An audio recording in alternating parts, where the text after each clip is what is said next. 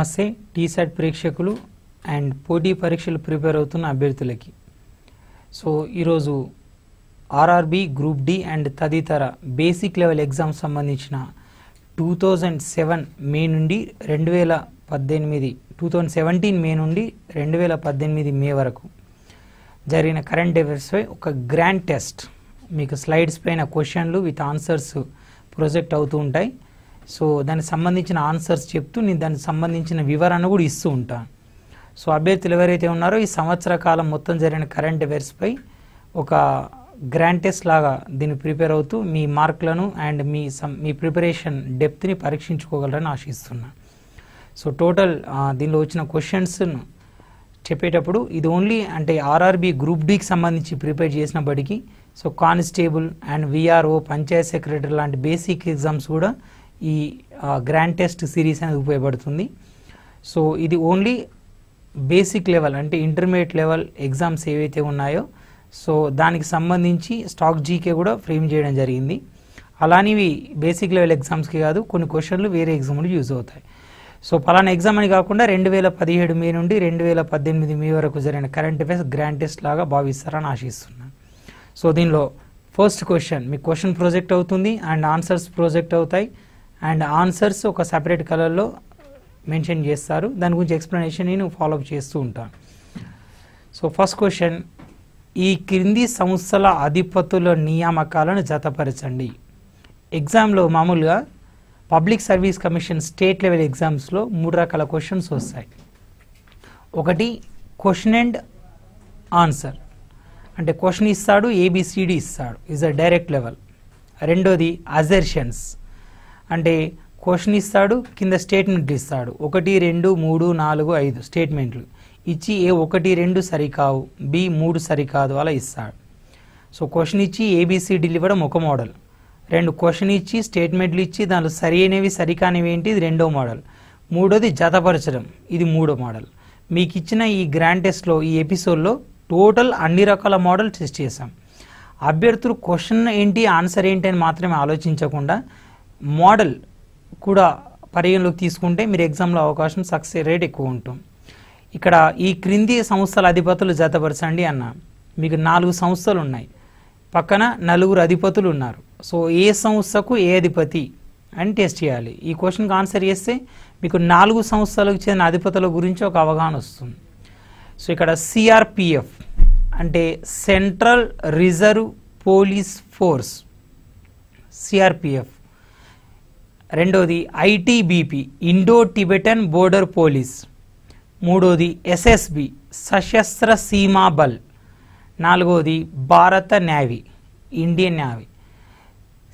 ఒకటేమో త్రివిధ దళాల్లో ఒకటి భారత నేవీ. మూడేమో పారామిలిటరీ బలగాలు. Sashastra Seema Bal Indo Tibetan border police central reserve police force. ఇవి నాలుగు సంస్థలు. సో ఇటు ఆప్షన్స్ ఏంటి అంటే రజనీకాంత్ మిశ్రా సునీల్ లాంబా రాజీవ్ రాయ్ భట్నాగర్ ఆర్కే ప్రచండ. సో దీనిలో ఒకటికి ఏ రెండు బి మూడు సి కావాలని లేదు. కావచ్చు కాకపోవచ్చు. సో దీనికి ఆన్సర్స్ ఏంటో చూడండి. సో ఆన్సర్స్ మీ పక్కన స్లైడ్లో కనిపిస్తున్నాయి. So A.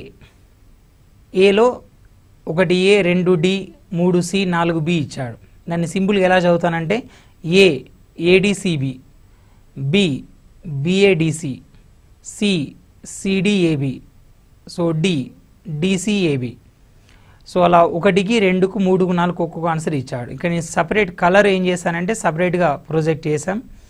సో అది ఆన్సర్ అన్నమాట. మీకు మూడు వైట్ కలర్లో కనిపిస్తున్నాయి ఒకటి సపరేట్ కలర్లో కనిపిస్తుంది ఆన్సర్ ఆన్సర్లు ఏమి ఇచ్చాడు? ఒకటి సి రెండు డి మూడు ఏ నాలుగు బి దీన్ని సింపుల్గా ఎలా గుర్తుపెట్టుకుంటారంటే సిడిఏబి అని గుర్తుపెట్టుకోండి.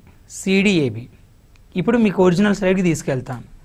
సిడిఏవి సో ఒకటో దానికి సి అంటే సిఆర్పిఎఫ్కు సి సో సిఆర్పిఎఫ్ అధిపతి రాజీవ్ రాయ్ భట్నాగర్. అలాగే సిడి అన్నాం. రెండవ దానికి డి అంటే ఐటీబీపీ ఇండో టిబెటన్ బోర్డర్ పోలీస్కి అధిపతి డి అంటే ఆర్కే ప్రచండ. సో మూడోది ఏ ఎస్ఎస్బి అంటే సశస్త్ర సీమా బలి. ఇది పూర్తి మహిళలతో కూడిన దళం. దీని అధిపతి రజనీకాంత్ మిశ్రా. ఇక నాలుగోది బి సిడిఏబి సో భారత న్యాయాధిపతి సునీల్ లాంబా సో మీకు ఒక క్వశ్చన్లో నాలుగు సంస్థలకు చెందిన అధిపతులు వచ్చినాయి. C D A B. ఒకటోదికి C Rajiv Rai Bhatnagar రెండో దానికి ఆన్సర్ సో ఆర్కే ప్రచండ మూడో దానికి ఆన్సర్ సో రజనీకాంత్ మిశ్రా నాలుగో దానికి ఆన్సర్ సునీల్ లాంబా సో ఇది సంస్థల అధిపతులు జతపరిచే విధానం. సో ఇప్పుడు తర్వాత క్వశ్చన్ వచ్చేసి రాష్ట్రాలు గవర్నర్లకు సంబంధించి సరికాని వ్యాఖ్యను గుర్తించండి. మీకు నాలుగు వ్యాఖ్యలు ఇచ్చాడు. ఆ నాలుగు వ్యాఖ్యల్లో ఒక వ్యాఖ్య సరికాదు. అంటే రాష్ట్రం సరైనది ఉండి గవర్నర్ తప్పు ఉండవచ్చు లేదా గవర్నర్ ఉండి రాష్ట్రం తప్పు కావచ్చు. సో మీకు తర్వాత స్లైడ్ ఏం చేస్తామంటే సో ఒకటి సరికాదు రెండు సరికాదు ఇలా మూడు ఏదో ఒకటి సరికానివి ఇస్తా నాలుగు ఇస్తాను దాన్ని మీరు కరెక్ట్ ఫైండ్ అవుట్ చేయాలి.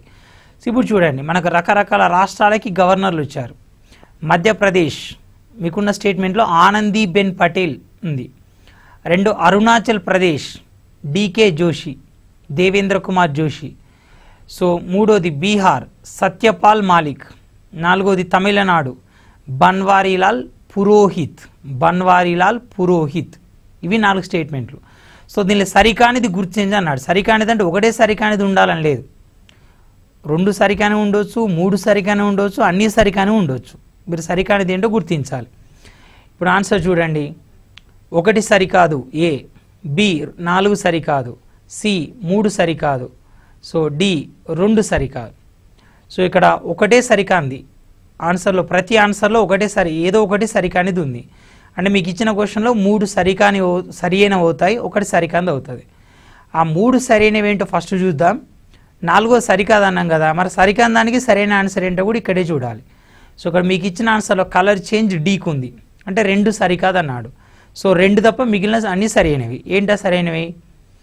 సో మధ్యప్ర రెండు సరికాదు. అంటే అరుణాచల్ ప్రదేశ్ డీకే జోషి సరికాదు. సారీ పక్కకు పెట్టండి. మిగతావి చూడండి.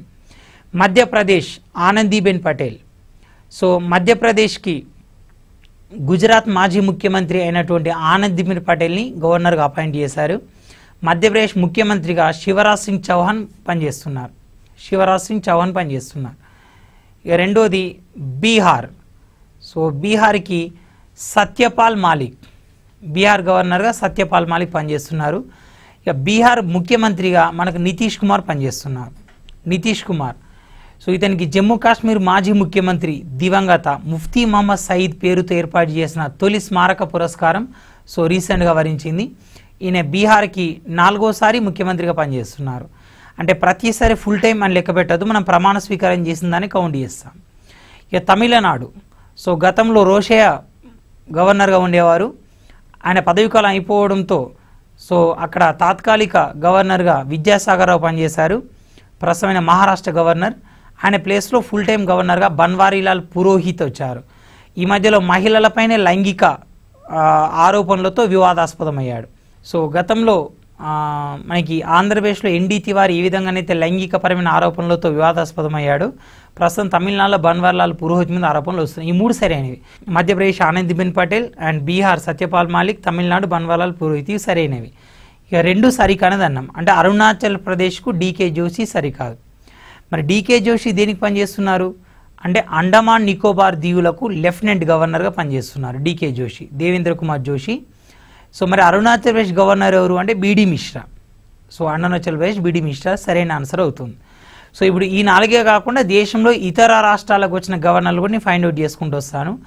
అరుణాచల్ ప్రదేశ్ ప్రస్తుత గవర్నర్ బీడీ మిశ్రా మణిపూర్ ప్రస్తుత గవర్నర్ గంగా ప్రసాద్ అండ్ అసోం ప్రస్తుత గవర్నర్ జగదీష్ ముఖి అండ్ తర్వాత బీహార్ ప్రస్తుత గవర్నర్ సత్యపాల్ మాలిక్ అండ్ ఆ తర్వాత next Tamil Nadu Banwarilal Purohit and Madhya Pradesh Anand Anandiben Patel. So ఇవి కాకుండా పుదుచ్చేరికి సో కిరణ్ బేడి అండ్ తర్వాత మణిపూర్కి నజ్మా హెప్తుల్లా. సో వీళ్ళు ప్రస్తుతం గవర్నర్గా పనిచేస్తున్నారు. సో ఇది క్వశ్చన్. ఆ తర్వాత నెక్స్ట్ మూడో క్వశ్చన్. ఈ మధ్యలో ఎగ్జామ్స్లో లేటెస్ట్ ట్రెండ్ ఏంటంటే ప్రభుత్వ పథకాల మీద మూడు నుంచి నాలుగు క్వశ్చన్లు అడుగుతున్నారు. ఒకప్పుడు ప్రభుత్వ పథకాలు అంటే గ్రూప్ టూ గ్రూప్ వన్ లాంటి ఎగ్జామ్స్ మాత్రమే అడిగేవాడు. ఇప్పుడు టెన్త్ ఇంటర్మీడియట్ లెవెల్ బేసిక్ ఎగ్జామ్లో అడుగుతున్నాడు. కానీ అభ్యర్థుల ఆలోచన ఏంటి అంటే ప్రభుత్వ పథకం అనగానే ఏ రోజు స్టార్ట్ అయింది దాని డేట్ ఏంటి ఇది కాకుండా దాని ఫీచర్స్ మీద కాన్సెప్ట్ చేయాలి. ఫస్ట్ దాని ప్రధాన ఉద్దేశం ఏంటి? ఆ తర్వాత దాని ఫీచర్స్ ఏంటి? ఫీచర్స్ ఏంటో తెలుసుకున్నారనుకోండి సరికానిది ఏంటి సరైనవి ఏంటి అన్నప్పుడు గుర్తుపట్టవచ్చు దాని ముఖ్యాంశాలన్నీ తెలుసుకోవాలి. బట్ ఇక్కడ ఇష్యూ ఏంటంటే ఓన్లీ ప్రధాన ఉద్దేశం అన్నాడు. ఇక్కడ ప్రధాన ఉద్దేశంలో నాలుగు ఇచ్చాడు. నిరుపేదలకు ఉచిత ఎల్పిజి కనెక్షన్లు ఉచిత ఎల్ఈడి బల్బుల పంపిణీ బయోమెట్రిక్ ద్వారా నిత్యావసర సరుకుల పంపిణీ అండ్ సేంద్రియ ఆధారిత వ్యవసాయం. సో మీకు ఇచ్చిన దానిలో సో కలర్ చేంజ్ బీక్ ఉంది. అంటే స- అది ప్రధాన ఉద్దేశం ఆన్సర్ అది అవుతుంది. ఏంటి? ఉచిత ఎల్ఈడి బల్బుల పంపిణీ అన్నాడు. సో మరి ఆ నిరుపేదలకు ఉచిత ఎల్పిజి కనెక్షన్ల కోసం పథకం ఉందా? ఉంది. ప్రధానమంత్రి ఉజ్వల యోజన. ప్రధానమంత్రి ఉజ్వల యోజన అయితేనేమో ఏ ఆన్సర్ అవుతుంది? నిరుపేదలకు ఉచిత ఎల్పిజి కనెక్షన్లు.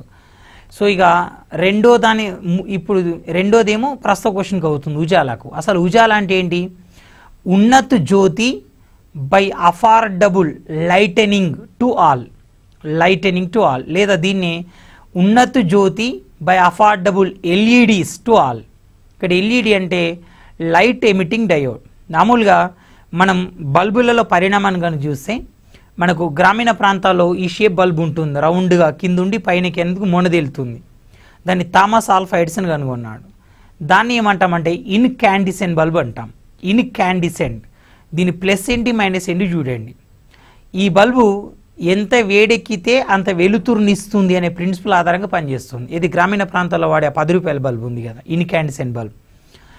అది ఎంత వేడెక్కితే అంత వెలుతురు వస్తుంది. కాబట్టి ఎంత వెలుతురు వేయాలంటే అంత వేడెక్కాలి. ఈ వేడెక్క క్రమంలో విద్యుత్ ఎక్కువ వాడుకుంటుంది. సో కాబట్టి దీంతో విద్యుత్ బిల్ ఎక్కువ. ఇది మైనస్. రెండోది వేడెక్కితే వెలుతురు వస్తుంది. కాబట్టి వేడెక్కే క్రమంలో అప్పుడప్పుడు ఫిలమెంట్ తెగిపోతుంది లోపల. సో దాంతో జీవితకాలం తక్కువ. ఇది ఇంకో వైనస్. అదృష్టం ఉంటే వెయ్యి గంటలు పనిచేస్తుంది. అండ్ ఆ తర్వాత ఇది వేడెక్కే క్రమంలో వాతావరణంలోకి టెంపరేచర్ని వదులుతుంది. మామూలుగా ఈ బల్బు ఉన్న దగ్గర మనం కూర్చుంటే వేడి ఎక్కువ వస్తుంది. స్ట్రీట్ లైట్లు ఉన్న దగ్గర కానీ హైమాస్ లైట్లు ఉన్న దగ్గర కానీ పెళ్ళిళ్ళలో ఈ ఫోటోలు షూట్ చేసిన కూడా బల్బులు కానీ ఇది ఎంత వేడెక్కితే అంత వెలుతురు వస్తాయి. కాబట్టి దీని ద్వారా ఉష్ణ కాలుష్యం జరుగుతుంది. సో అన్నీ మైనస్లే సో విద్యుత్ బిల్ ఎక్కువ వస్తుంది జీవితకాలం తక్కువ అండ్ తర్వాత వచ్చేసి మనకి ఉష్ణ కాలుష్యం జరుగుతుంది. సో మరి ప్లస్ ఏం లేదా? ఉంది ధర తక్కువ. ఇక దీనికన్నా అడ్వాన్స్డ్ మోడల్ ఏంటంటే సిఎఫ్ఎల్ ఈ మధ్యలో గ్రామీణ ప్రాంతాల్లో ఇలా పొడవుగా ఉన్న స్పైరల్ షేప్లో ఉన్న బల్బులు వస్తున్నాయి. సిఎఫ్ఎల్ అంటే కాంపాక్ట్ ఫ్లోరోసెంట్ ల్యాంప్ ఇప్పుడు దీని మైనస్ ఏంటో చూడండి. మైనస్ ప్లస్ ఏముందా? ప్లస్. సో ప్లస్ ఏంటంటే విద్యుత్ బిల్లు తక్కువ వస్తుంది. గ్రామీణ ప్రాంతాల్లో ఒక బల్బు అరవై వాట్ల బల్బు వాడుకుంటే ఎంత బిల్లు వస్తుందో అదే బిల్లుతో ఈ బల్బులు నాలుగు వాడుకోవచ్చు. అంటే అరవై వాట్ల బల్బు ఇచ్చే వెలుతుని ఈ బల్బు పదిహేను వాట్ల బల్బే ఇస్తుంది సో ఆ బల్బుకు అవసరమైన విద్యుత్తో ఇట్లాంటి బల్బులు నాలుగు వాడుకోవచ్చు. సో బిల్లు తక్కువ. అండ్ రెండోది ఇది ప్లస్. ఇక రెండోది ఏంటి అంటే మైనస్ ఉంది. ఇక్కడ కూడా కాలుష్యం వస్తుంది. కాకపోతే ఉష్ణ కాలుష్యం ఉండదు. దీని ద్వారా బల్బు కనుక డిస్మిటల్ చేసినప్పుడు వాతావరణంలోకి మెర్క్యూరీ విడుదల అవుతుంది. ఇది ఒక మైనస్. ఇంకా మూడో మైనస్ ఏంటి అంటే మనకి ఆ, ధర ఎక్కువ. నూట వంద రూపాయల నుంచి రెండు వందల యాభై రూపాయల దాకా ఉండొచ్చు. ఇక దీనికన్నా అడ్వాన్స్డ్ ఎల్ఈడి సిఎఫ్ఎల్ కన్నా అడ్వాన్స్డ్. ఇది లైట్ ఎమిటింగ్ డయోడ్. సో మామూలు బల్బుకేమో అన్ని మైనస్లే ఉన్నాయి. ప్లస్ ఒకటే ధర తక్కువ. ఎల్ఈడికి అన్ని ప్లస్లే మైనస్ ఒకటే ధర ఎక్కువ. మామూలుగా మనం జీరో బల్బును వాడతాం. దానికే యాభై రూపాయలు ఉంటుంది ఎల్ఈడి. యాభై రూపాయల నుంచి మొదలు పెడితే ఐదు వందల దాకా ఉండొచ్చు. ఇక మిగతావన్నీ ప్లస్ బిల్లు తక్కువ సిఎఫ్ఎల్ కన్నా తక్కువ. సో మామూలు బల్బు అరవై వాట్ల బల్బు వాడే విద్యుత్తో ఒక బల్బు వాడితే గ్రామీణ ప్రాంతాల్లో ఈ బల్బు ఏడెనిమిది వాడచ్చు. బిల్లు తక్కువ. సో అండ్ కాలుష్యం ఉండదు. వెలుతురు ఎక్కువ విస్తీర్ణంతో వస్తుంది. ఇవన్నీ ప్లస్ పాయింట్ అన్నమాట. సో మరి యాభై ఐదు వందల రూపాయల బల్బును గ్రామీణ ప్రాంతాల్లో కొనుక్కోలేరు. సో దాని గురించి ఒక అవగాహన వచ్చిందనుకో అప్పుడు కొనుక్కోగలుగుతారు. ఇప్పుడు సిలిండర్లు తొలి రోజుల్లో ఇచ్చినప్పుడు ఎవరు వాడలేదు. ఇప్పుడు అందరూ సిలిండర్లు వాడుతున్నారు. కాబట్టి ప్రభుత్వం ఏం చేసింది? ఉచితంగా తక్కువ ధరకు ఇచ్చే విధంగా ఒక పథకం తీసుకొచ్చింది. అదే ఉజాల. సో ఉజాల పథకం ప్రధాన ఉద్దేశం సో ఉచిత లీడ్ బల్బులు పంపిణీ. సో దీని అభ్యర్థులు ఏం చేయాలంటే సో ప్రతి పథకాన్ని చదివినప్పుడు మీరు ఉద్దేశం గురించి ఆలోచిస్తూ ఉండాలి. సో అది ఇక్కడ ఉద్దేశం. ఆ తర్వాత నెక్స్ట్. మీరు రైల్వే ఎగ్జామ్ రాస్తున్నారు కాబట్టి మీకు ఇచ్చే ఎగ్జామ్లో ట్రాన్స్పోర్ట్ సిస్టమ్ గురించి కంపల్సరీ క్వశ్చన్లు ఉంటాయి. దానిలో రైల్వే గురించి ఇంకొకటి రెండు క్వశ్చన్లు ఎక్కువగానే ఉండే అవకాశం ఉంటుంది సో అందుకని మీకు ఇస్తున్న ఈ ముప్పై నలభై క్వశ్చన్లో కంపల్సరీ రైల్వేల గురించి ఒక నాలుగైదు క్వశ్చన్ మెన్షన్ చేశాను. మీరు ఆ కోణంలో ఆలోచించండి. సో మన దేశంలో అత్యధిక వేగంతో ప్రయాణించే రైలు అంటే ఇప్పటికీ చాలామంది అభ్యర్థులు శతాబ్ది ఎక్స్ప్రెస్ అని అంటున్నారు. శతాబ్ది ఎక్స్ప్రెస్ గంటకు నూట యాభై కిలోమీటర్ల వేగంతో ప్రయాణిస్తుంది. కానీ ఈ మధ్య కాలంలో వచ్చిన గతిమాన్ ఎక్స్ప్రెస్ ఇది రెండు వేల పదహారు ఏప్రిల్ ఐదు నాడు బాబు జగ్జీవన్ రామ్ జయంతి రోజు వచ్చింది. ఇది గంటకు నూట అరవై కిలోమీటర్ల వేగంతో పోతుంది. సో మీకు ఇచ్చిన నాలుగు ఆన్సర్లు ఇచ్చాడు. త్రిపుర సుందరి ఎక్స్ప్రెస్ అన్నాడు శతాబ్ది ఎక్స్ప్రెస్ అన్నాడు అంసఫర్ ఎక్స్ప్రెస్ అన్నాడు గతిమాన్ అన్నాడు. So answer B. So Gatiman express. The fastest train in India Gatiman express. So speed of this train one sixty kilometer per hour. And uh, next question Hyderabad metro mascot. ఇటీవల హైదరాబాద్ కాలంలో metro start అయింది. కాబట్టి ప్రపంచ అభ్యర్థులు దేశవ్యాప్తంగా మెట్రోల గురించి observe చేయాలి. మనకు పదిహేడు రైల్వే జోన్లు ఉన్నాయి. దీనిలో పదిహేడు రైల్వే జోన్ అంటేనే కోల్కతా మెట్రో. మన దేశంలో మొట్టమొదటి మెట్రో కోల్కతా వచ్చింది. ఇక మెట్రో రంగంలో ఒక విప్లవాత్మకం ఢిల్లీ మెట్రో. ఢిల్లీ లాంటి ఒక కంజెస్టెడ్ సిటీలో సక్సెస్ఫుల్ మెట్రో నిర్మించాడు శ్రీధరన్. అందుకే అతను మెట్రో మ్యాన్ ఆఫ్ ఇండియా అంటాం శ్రీధరన్. సో దాంతో మన దగ్గర కూడా హైదరాబాద్లో మెట్రో నిర్మించాలన్న కాన్సెప్ట్ వచ్చింది. దీనికి ఎల్ఎన్టీ కంపెనీ ముందుకు వచ్చింది. సో ఇటీవలే కొంత ప్రాంతం స్టార్ట్ చేశారు. రెండు వేల పదిహేడు నవంబర్ ఇరవై ఎనిమిదిన హైదరాబాద్లో జరిగిన ప్రపంచ వ్యాపారవేత్తల సదస్సు వరల్డ్ ఎంటర్ప్రెన్యూర్షిప్ సమ్మిట్లో పాల్గొనడానికి వచ్చిన మోడీ నవంబర్ ఇరవై ఎనిమిది నాడు ఈ స్టార్ట్ చేశాడు. దీనికి ఒక మస్కట్ ఉంది. అదేంటి? బోరోబి అన్నాం. యాక్చువల్లీ ఇది కామన్వెల్త్ క్రీడల మస్కట్. షేరు అన్నాం. అండ్ వీరు అండ్ నిజ్ ఇక్కడ ఆన్సర్ నిజ్ అన్నమాట. ఎన్ఐజెడ్ నిజాం నుంచి నిజ్ అనే పదం తీసుకొచ్చారు. సో అదే హైదరాబాద్ మెట్రో మస్కట్. సో ఇటీవల హైదరాబాద్ మెట్రో స్టార్ట్ అయింది కాబట్టి టోటల్ మెట్రో సిస్టమ్ గురించి అవగాహన ఉండాలి. ఎక్కడెక్కడ మెట్రో స్టార్ట్ అయినాయి తొలి మెట్రో ఏంటి? సో అది మెట్రో సిటీస్ ఏంటి అంటారు మెట్రో సిటీస్ ఏంటి అంటే according to two thousand eleven census ప్రకారం రెండు వేల పదకొండు జనాభా లెక్కల ప్రకారం ఏ నగరంలో అయితే ఒక ఒక లక్ష జనాభా ఉంటుందో నగరం అది. ఒక లక్ష జనాభా ఉంటే నగరం పది లక్షల జనాభా ఉంటే మెట్రో నగరం యాభై లక్షల జనాభా ఉంటే మెగా నగరం ఒక కోటి జనాభా ఉంటే కాస్మోపాలిటిన్ నగరం కాస్మోపాలిటిన్ సిటీ విశ్వనగరం. సో మన దేశంలో ఒక కోటి జనాభా ఉన్నది ఒకటే ఉంది. సో అదే ముంబై దేశంలో అత్యధిక జనాభా నగరం. సో ఇది మెట్రో. ఇటీవల ఆంధ్రప్రదేశ్లో కూడా మెట్రో నగరం ఒకటి గుర్తించబడింది విజయవాడ. అక్కడ కూడా మెట్రో ట్రైన్ కోసం శంకుస్థాపన. Chandrababu Naidu laid foundation stone also. And railway board ప్రస్తుత చైర్మన్. మామూలుగా నియామకాలకి వెళ్ళి మీకు కంపల్సరీ ఒకటి లేదా రెండు క్వశ్చన్లు ఉంటాయి. ఆర్ఆర్బి వాళ్ళకు కానీ కానిస్టేబుల్ వాళ్ళకు కానీ విఆర్ఓ పంచాయత్ సెక్రటరీ వాళ్ళకు. సో మీకు రైల్వేకి సంబంధించిన ఎగ్జామ్ రాస్తున్నారు కాబట్టి రైల్వేలకు సంబంధించిన నియామకం ఇచ్చాను. అదే అడగాల లేదు టోటల్ నియామకాలు మొత్తం చదవండి. So national SC ST commission BC commission మీరు స్టేట్ ఇష్యూస్ చదవాల్సిన అవసరం లేదు రైల్వే వాళ్ళు. నేషనల్ ఇష్యూస్ నియామకాలు నేషనల్ ఇంటర్నేషనల్ మొత్తం చదవండి. సో దేబ్జానీ ఘోష్ అన్నాం. యాక్చువల్గా దేబ్జానీ ఘోష్ రీసెంట్గా నాస్కామ్ అధ్యక్షురాలుగా వచ్చింది. సో ఇక ఆర్కే శ్రీవాస్తవ కేఎం వాసుదేవన్ రీసెంట్గా వార్తల్లో లేరు. సో మీకు వార్తల్లో ఉన్నది ఇద్దరే దేబ్జానీ ఘోష్ అశ్విన్ లోహా అని. సో మీకు దేబ్జానీ ఘోష్ నాస్కామ్ అధ్యక్షురాలుగా వచ్చిందన్న విషయం ఫైండ్ అవుట్ చేయగలిగితే ఎలిమినేషన్ మెథడ్లో ఆన్సర్ పెట్టచ్చు. Ashwini Lohani Ashwini Lohani so railway board ప్రస్తుత చైర్మన్. అండ్ సెవెంత్ క్వశ్చన్ అది వెరీ వెరీ అప్డేటెడ్. భారతదేశంలో బుల్లెట్ ట్రైల్ కోసం ఒక ప్రాజెక్ట్ వచ్చింది. దాని గురించి ఇక్కడ క్వశ్చన్ ఇచ్చాం. రెండు వేల పదిహేడు సెప్టెంబర్ పద్నాలుగున కొన్నిసార్లు ఏంటి అంటే భారత్లో బుల్లెట్ రైల్ కోసం ఏ రోజు శంకుస్థాపన జరిగిందని కూడా అడగచ్చు. అంటే మీకు ఇచ్చే క్వశ్చన్లో డేట్ మీద కూడా క్వశ్చన్ వస్తారు డేట్ అంటే డేటు ప్రత్యేకత అని కాదు. కరెంట్ అఫైర్స్ జరిగిన సంఘటన ఏ రోజు జరిగిందని అడిగే అవకాశం ఉంటుంది. అందుకని కొన్ని ఇంపార్టెంట్ క్వశ్చన్లో డేట్ కూడా మెన్షన్ చేసుకుంటూ వస్తున్నా. అంటే క్వశ్చన్ ఇచ్చి ఆన్సర్లో డేట్ అడగడం కాకుండా క్వశ్చన్లో డేట్ ఇస్తున్నాను రెండు వేల పదిహేడు సెప్టెంబర్ పద్నాలుగున. సో అహ్మదాబాద్ సెప్టెంబర్ పద్నాలుగు జాతీయ హిందీ దివాస్. హైదరా అహ్మదాబాద్లో శంకుస్థాపన జరిగిన ముంబై అహ్మదాబాద్ బుల్లెట్ రైల్ ప్రాజెక్టుకు ఆర్థిక సాంకేతిక సహాయం చేస్తున్న దేశం ఏంటి అన్నాడు మీ క్వశ్చన్లోనే రెండు ఆన్సర్లు ఉన్నాయి. అహ్మదాబాద్ అహ్మదాబాద్లో బుల్లెట్ రైల్ కోసం శంకుస్థాపన జరిగింది. ఇది ఒకటి రెండవది ఏ రోజు జరిగింది? రెండు వేల పదిహేడు సెప్టెంబర్ పద్నాలుగులో జరిగింది. సో అక్కడ జరిగిన శంకుస్థాపన ఏ నగరాల మధ్య నిర్మిస్తున్నారు అంటే ముంబై అహ్మదాబాద్ నిర్మిస్తున్నారు. ముంబై భారతదేశ ఆర్థిక రాజధాని అహ్మదాబాద్ గుజరాత్ ఆర్థిక రాజధాని. దీనికి ఆర్థిక ఫైనాన్షియల్ చేస్తున్నది టెక్నాలజీ ఇస్తున్న దేశం ఏంటి అన్నాం. China USA Russia Japan. మామూలుగా రకరకాల క్షిపణి కార్యక్రమాలకి యుద్ధ ట్యాంకులకి యుద్ధ పరికరాలకి భారత్కి ఎప్పటి నుంచో సాయం చేస్తున్న దేశం రష్యా. ఈవెన్ కుడంకులం లాంటి నగరాల్లో తమిళనాడులో అణు విద్యుత్ కేంద్రాలు కూడా నిర్మిస్తుంది రష్యా. కాబట్టి అభ్యర్థులు రష్యాను పోతారు. ఇక్కడ అంటే మీకు కలర్ చేంజ్ ఉంది కాబట్టి తొందర ఫైండ్ అవుట్ చేస్తున్నారు. ఎగ్జామ్లో కొంచెం కన్ఫ్యూజన్ ఉంటుంది. ఇక ప్రపంచంలో అతి ఎత్తైన రైలు అత్యంత వేగవంతమైన ఇట్లాంటి చైనాలో నిర్మిస్తున్నారు. అత్యంత పొడవైన సముద్రవంతైన అత్యంత పొడవైన గ్లాస్ బ్రిడ్జ్ ఇవన్నీ చైనాలో వచ్చినాయి కాబట్టి చైనా అనుకోవద్దు. యుఎస్ఏ కాదు జపాన్. సో జపాన్ ప్రధాని షింజో అబే సో అండ్ భారత ప్రధాని మోడీ ఇద్దరు కలిసి రెండు వేల పదిహేడు సెప్టెంబర్ పద్నాలుగున శంకుస్థాపన చేశారు. సెప్టెంబర్ పద్నాలుగున భారత్ సందర్శించిన జపాన్ ప్రధాని షింజో అబే వెళ్ళి సెప్టెంబర్ ఇరవై ఎనిమిదిన జపాన్ పార్లమెంట్ రద్దు చేశాడు. ఆ తర్వాత ఎన్నికలు జరిగిన పార్లమెంట్ ఎన్నికలు మళ్ళీ ఆయనే గెలిచాడు. సో రీఎలెక్టెడ్ అనమాట సో ఆన్సర్ జపాన్. అండ్ భారతీయ రైల్వే లోగో ప్రతి దానికి ఒక లోగో ఉంటుంది. సో ఇటీవల తెలంగాణ గ్రూప్ టూ తెలంగాణ డిఎస్సీలు అడిగాడు.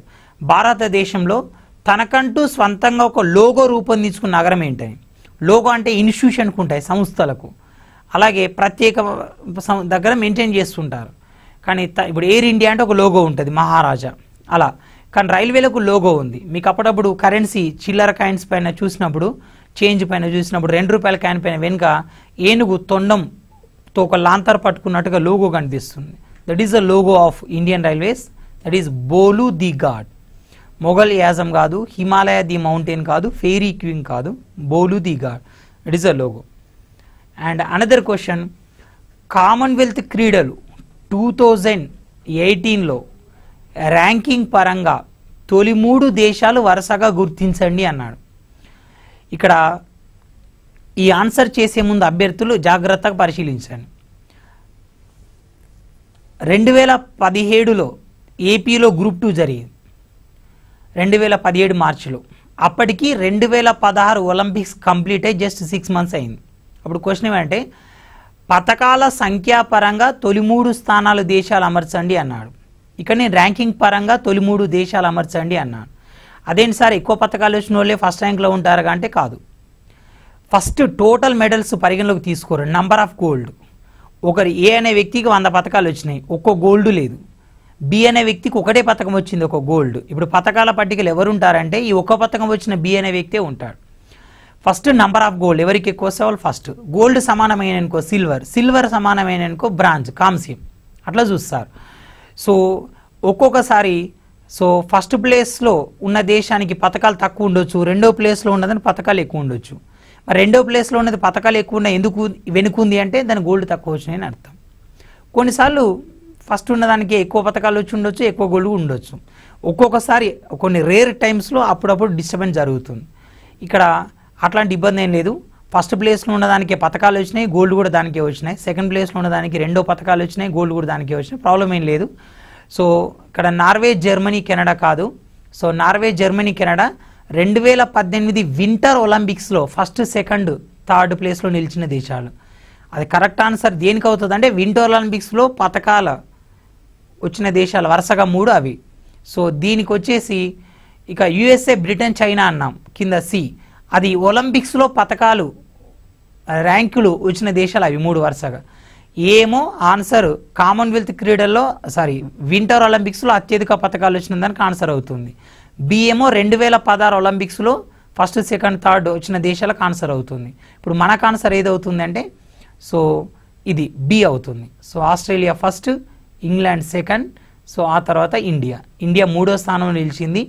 సో గతంలో మనకి మొత్తం అరవై నాలుగు పథకాలు వస్తాయి. రెండు వేల పద్నాలుగు కామన్వెల్త్ క్రీడల్లో ఈసారి అరవై ఆరు పథకాలు వచ్చినాయి. సో నెక్స్ట్ దేశంలో తొలి ప్రైవేట్ రైల్వే స్టేషన్. ఇక్కడ ప్రైవేట్ రైల్వే స్టేషన్ అంటే అర్థం ఏంటంటే రైల్వే స్టేషన్లలో విమానాశ్రయ స్థాయి సౌకర్యాలు కల్పిస్తున్నారు.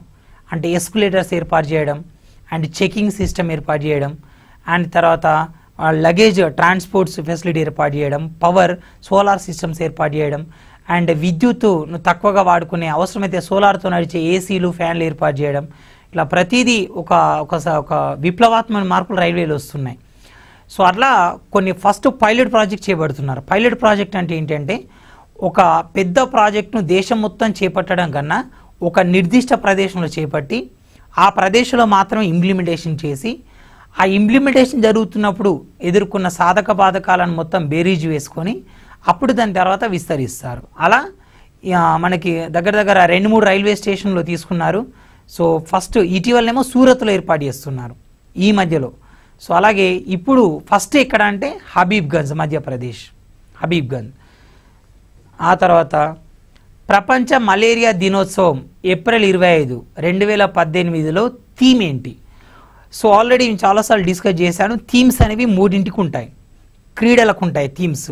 తేదీలు ప్రాముఖ్యతలకు ఉంటాయి సదస్సులు సమావేశాలకు ఉంటాయి ఇక్కడ ప్రపంచ మలేరియా దినోత్సవం ఎప్పుడు ఏప్రిల్ ఇరవై ఐదు నాడు జరుపుతాం. ప్రతి సంవత్సరం థీమ్ ఉంటుంది. థీమ్ ఆర్ థీమ్ అంటే ఇతివృత్తం అంశం అనే అర్థం వస్తుంది. ఇక్కడ ఏమన్నా ready to beat malaria fight against malaria end malaria to two thousand twenty two. None of these ఏది కాదు అని ఇచ్చాడు. సో ఇక్కడ ఆన్సర్ ఏది కాదు ఉండొచ్చు అంటే మీకు ఇచ్చిన మూడింట్లో సరైనది లేకపోవచ్చు లేదా ఉండొచ్చు. సో ఆన్సర్ ఏంటంటే A ready to beat malaria అంటే మలేరియాను నివారించడానికి సమాయత్తం అవుదాం సన్నద్ధం అవుదాం అనే అర్థం వస్తుంది. ఇది సో మీ పదకొండో క్వశ్చన్కి ఆన్సర్. నెక్స్ట్ ప్రపంచ పత్రికా స్వేచ్ఛా సూచి రెండు వేల పద్దెనిమిదిలో తొలి స్థానం నార్వే పొందగా భారత ర్యాంక్ ఏంటి? మీకు ఇండెక్సెస్ అనేది మోస్ట్ ఇంపార్టెంట్ ఇండెక్సెస్ ఇండెక్సెస్ మీద క్వశ్చన్లు అడుగుతున్నాడు. సో ఇంటర్మీడియట్ లెవెల్ టెన్త్ లెవెల్లో కూడా ఇండెక్స్ మీద క్వశ్చన్లు వస్తాయా? ఇది యాక్చువల్గా civil services standard topic indexes అనేది. కానీ తెలంగాణలో జరిగిన ఫారెస్ట్ బీట్ ఆఫీసర్లో కూడా ఇండెక్సెస్ మీద క్వశ్చన్లు వచ్చినాయి. సో ఇక్కడ ఇండెక్సెస్ చదివేటప్పుడు అభ్యర్థులు ఫస్ట్ దాన్ని రూపొందించిన సంస్థ ఏంటి అని కన్సిడర్ చేయాలి. రూపొందించిన సంస్థ ఏంటి? అండ్ సెకండ్ ఏమేం పారామీటర్స్ తీసుకున్నారు? థర్డ్ ఫస్ట్ ర్యాంక్లో ఉన్న దేశం ఏంటి? లా ఫోర్త్ వన్ ఏంటి అంటే ఇండియా పొందిన స్థానం ఏంటి? అయితే ఇంటర్మీడియట్ లెవెల్ ఎగ్జామ్స్లో డిగ్రీ ఎగ్జామ్స్లో పారామీటర్స్ అడగడు. అంటే ఏమేమి అంశాలు పరిగణలోకి తీసుకున్నారు అడగడు. జస్ట్ సో ఫస్ట్ ర్యాంక్ ఏంటి ఇండియా ర్యాంక్ ఏంటి తెలుసుకుని చదువుతుంది ఆల్రెడీ మీ క్వశ్చన్లోనే ఫస్ట్ ర్యాంక్ ఏంటి అని ఇచ్చాడు నార్వే ఇక్కడ ఏంటంటే ఫస్ట్ ర్యాంక్లో ఉన్న దేశానికి పత్రికా స్వేచ్ఛ ఎక్కువ ఉంది అని అర్థం. అంటే పత్రికల స్వేచ్ఛ ఎక్కువ ఉంది అని. ఇక ర్యాంకింగ్ పెరుగుతున్న కొద్దీ పత్రికలకు స్వేచ్ఛ తగ్గుతుంది పత్రికలపైన దాడులు పెరుగుతున్నాయి అర్థం వస్తుంది ఇక్కడ. ఫస్ట్ నార్వే అంటే స్వేచ్ఛ ఎక్కువ ఉంది అర్థం. భారత్ ర్యాంక్ నూట ముప్పై ఎనిమిది. భారత్లో పత్రికల స్వేచ్ఛ నానాటికి దిగజారుతుంది అని. అయితే ఇక్కడ ఇష్యూ ఏంటంటే ఈ నివేదిక ఏప్రిల్లోనే వచ్చింది. సో అయితే వచ్చిన తర్వాత ప్రెస్ కౌన్సిల్ ఆఫ్ ఇండియా ఈ నివేదికను తిరస్కరించింది. అంటే ఒక నేరో మైండెడ్తో నూరో రూప ఒక నివేదిక రూపొందించారు. భారత్లో అన్ని అంశాలు పరిగణలోకి తీసుకోలేదు. ఇది భారత పత్రికా స్వేచ్ఛ పైన జరుగుతున్న దాడి. మామూలుగా ప్రభుత్వ పత్రికలపైన స్వేచ్ఛ ఎలా తగ్గుతుంది? ప- ప్రభుత్వ నియంత్రణ పెరిగితే స్వేచ్ఛ తగ్గుతుంది. కానీ ఇక్కడ ప్రెస్ కౌన్సిల్ ఆఫ్ ఇండియానే మాకు స్వేచ్ఛ ఉంది భారత్లో. మాకు కూడా కొన్ని రిస్ట్రిక్షన్స్ ఉండొచ్చు కానీ మాకున్న స్వేచ్ఛకు ఈ ర్యాంక్ అనేది అవమానకరం. సో దీన్ని తప్పుడు విధానం అని రిజెక్ట్ చేసింది. So so press council of India reject చేసి ఉండొచ్చు బట్ అకార్డింగ్ టు నివేదిక ప్రకారం అయితే so world press freedom index two thousand eight ప్రకారం first rank goes to Norway and one thirty eight rank goes to be so India and ఇది సదస్సులు. మీకు ఇచ్చినది గ్రాండ్ టెస్ట్ సో గ్రాండ్ టెస్ట్లో నేను ముప్పై నలభై క్వశ్చన్ల దాకా మెన్షన్ చేశాను. ప్రతి టాపిక్ నుంచి ఇప్పుడు ఇండెక్సెస్ నుంచి క్వశ్చన్ వచ్చింది నివేదిక నుంచి క్వశ్చన్ వచ్చింది థీమ్ నుంచి క్వశ్చన్ వచ్చింది. ఇక్కడ మీరు క్వశ్చన్ ఏంటి ఆన్సర్ ఏంటి అని కాకుండా ఒక గ్రాండ్ టెస్ట్లో ఏ టాపిక్స్ నుంచి ఎన్ని మార్కులు తీసుకున్నారు సో ఏ టాపిక్ ఎంత ప్రియారిటీ ఉందో ఒక ఓవర్వ్యూ చేయండి. అది మీకు ఎగ్జామ్లో బాగా ఉపయోగపడుతుంది. సో ఇక్కడ ప్రపంచ ప్రభుత్వాల సదస్సు రెండు వేల పద్దెనిమిది నిర్వహించబడిన నగరం. అంటే ఇక్కడ సదస్సులు సమావేశాలకు రోషన్ వచ్చింది సో దుబాయ్ అంటే ఇది యుఏఈ నగరం Rome Italy Stockholm Sweden Berlin Germany. So జరిగింది దుబాయ్. ఇది రెండు వేల పద్దెనిమిది ఫిబ్రవరిలో జరిగింది తొమ్మిది ఆ ప్రాంతంలో జరిగింది. సో దీనిలో పాల్గొనడానికి మోడీ వెళ్ళాడు. ఈ సదస్సు జరిగిన తర్వాత అదే దుబాయ్ యుఏఈలో. సో బాలీవుడ్ నటి అండ్ జాతీయ నటి శ్రీదేవి గారు కూడా అక్కడే మరణించారు. So next question sick man of యూరోప్గా ఏ దేశాన్ని పిలుస్తారు? ఇదేంటంటే ప్రదేశాలు భౌగోళిక మారుపేర్లు అనే టాపిక్లో వస్తుంది. మామూలుగా డిగ్రీ లెవెల్ స్టాండర్డ్ ఎగ్జామ్ వాళ్ళకి ఇంత స్ట్రాటజీకి జీకి అడిగాడు. Tenth RRB group D constable VRO panchayat secretary లాంటి ఎగ్జామ్లు క్వశ్చన్లు వస్తాయి. సో మీకు స్టాక్ జీకే టాపిక్స్ కనుక ఆర్ఆర్బి వాళ్ళు ప్రిపేర్ కావాలనుకుంటే మీరు కోచింగ్ తీసుకోకపోనట్టయితే మా లైవ్ క్లాసెస్ మా క్లాసెస్ కనుక ఫాలో అవుతున్నట్టుంటే నీకు కొన్ని స్టాక్ టాపిక్ చెప్తాను స్టాండర్డ్ టాపిక్స్ అన్నమాట. అంటే మార్కెట్లో ఏజీకి బుక్ కొనుక్కున్నాను అదే ఇన్ఫర్మేషన్ ఉంటుంది ఈ టాపిక్ సంబంధించి. నదులు నదీ తీరాన ఉన్న నగరాలు అండ్ శాస్త్రవేత్తలు కనుగొన్న పరికరాలు అండ్ వివిధ రకాల అధ్యయనాలు పురాతన పేర్లు నూతన పేర్లు తేదీలు ప్రాముఖ్యత ప్రదేశాలు భౌగోళిక మారు పేర్లు ఇవన్నీ వస్తూ ఉంటాయి. అలాగే రాష్ట్రాలు రాజధానులు గవర్నర్లు ముఖ్యమంత్రులు కూడా చదువుకోవచ్చు. సో ఇక్కడ సిగ్మ్యాన్ ఆఫ్ యూరప్ యూరప్ జబ్బు మనిషి అని అర్థం వస్తుంది తెలుగులో సో టర్కీ. యాక్చువల్లీ ఏంటంటే ప్రపంచంలో ఏడు ఖండాలు ఉన్నాయి. అంటార్కిటికాలో మనుషులు ఉండరు జనాభా ఉండరు. అదొక భౌగోళిక ఊహ. అంటే జనాభా పాపులేషన్ ప్రాంతాలు ఉండేవి ఆరు ఖండాల్లో. ప్రతి ఖండంలో కొన్ని దేశాలు ఉంటాయి. ఆఫ్రికాలో ఎక్కువ ఉండొచ్చు ఆస్ట్రేలియాలో తక్కువ ఉండొచ్చు. ప్రతి ఖండంలో కొన్ని దేశాలు ఉంటాయి. ప్రతి దేశం కూడా ఏదో ఒక ఖండంకే చెందిందే ఉంటుంది. కానీ ప్రపంచంలో రెండు దేశాలు మాత్రం ఏదో ఒక ఖండానికి పరిమితం కాకుండా రెండు ఖండాలు విస్తరించినాయి. Russia seventy five percent Europe twenty five percent Asia Turkey ninety seven percent of Europe only three percent in Asia అంటే ఇది యూరోప్లోనే ఎక్కువ ఉంది. సో ఇది యూరోప్ దేశమే. దీనే యూరోప్ జబ్బు మనిషి అంటారు.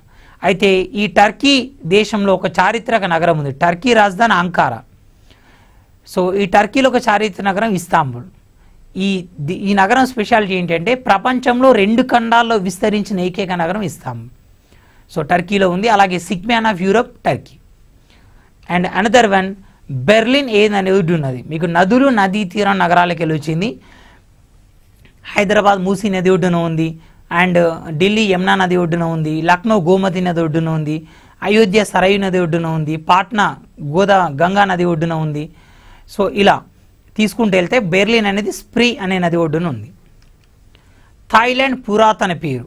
సో చెప్పాము ఆల్రెడీ. సో వియత్నాం అని మనకు ఫా తైవాన్ అని ఇప్పుడు అంటున్నాం. ఒకప్పటి పేరు ఫార్మోజా అలాగే గోల్డ్ కోస్ట్ అని ఇప్పుడు ఘనా అంటున్నాం. ఒకప్పుడు పేరు గోల్డ్ కోస్ట్. ఇలా ఉంటాయి. సో దీని పురాతన పేరు సయాం ఎలక్ట్రాన్ మైక్రోస్కోప్ కనుగొన్నది అన్నాం. యాక్చువల్లీ మైక్రోస్కోప్ అంటే చిన్న వస్తువును పెద్దగా సూచించే పరికరం. ఒక అద్దంతో మిర్రర్తో కూడిన పరికరం. సాధారణ కంటితో నేకడ్ ఐతో చూడడానికి ఏదైతే పాసిబిలిటీ కాదో దాన్ని ఆ కటకం సాయంతో చూడొచ్చు. మామూలుగా గ్రామీణ ప్రాంతాల్లో భూతద్దం భూతద్దం అంటాం కదా అది వన్ టైప్ ఆఫ్ మైక్రోస్కోప్ యాక్చువల్గా మైక్రోస్కోప్ కనుగొన్నది Antonie van Leeuwenhoek Antonie van Leeuwenhoek అనే వ్యక్తి కనుగొన్నాడు. సో అయితే ఇతను కనుగొన్నది బేసిక్ మైక్రో సింపుల్ మైక్రోస్కోప్ అంటాం. సో అది ఒక వస్తువును రెండు వందల రెట్లు మాత్రమే పెద్దగా చూపించగలుగుతుంది. ఆ తర్వాత దానికన్నా అడ్వాన్స్డ్ వచ్చింది. జెకారియస్ జాన్సన్ కనుగొన్నాడు. దాన్ని సంయుక్త సూక్ష్మదర్శిని. సో ఆంటోని వ్యాన్ డివెన్హా కనుగొన్నది సాధారణ సూక్ష్మదర్శిని. సో జెకారియస్ జాన్సన్ కనుగొన్నది సంయుక్త సూక్ష్మదర్శిని. మామూలుగా కాలేజీలలో వాడే మైక్రోస్కోప్ రక్త పరీక్ష లాంటివి చేసే హాస్పిటల్లో వాడే మైక్రోస్కోప్ అది. అదొక వస్తువును రెండు వేల రెట్లు పెద్దగా చూపిస్తుంది. ఆ తర్వాత వచ్చింది ఎలక్ట్రాన్ మైక్రోస్కోప్. ఇది ఒక వస్తువును లక్ష రెట్ల వరకు పెద్దగా చూపించగలుస్తుంది. సో రెండు వందల రెట్లు సూచించేది సాధారణ మైక్రోస్కోప్. కనుగొన్నది యాంటోనియో లీవెనాగ్.